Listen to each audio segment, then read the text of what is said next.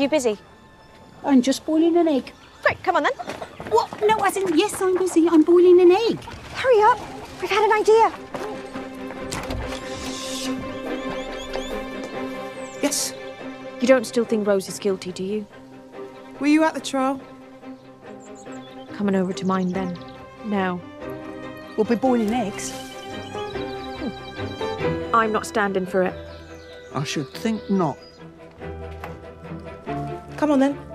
Rose is about to go down for something she didn't do. Now, I have a plan. No, sorry. Fuck you, no.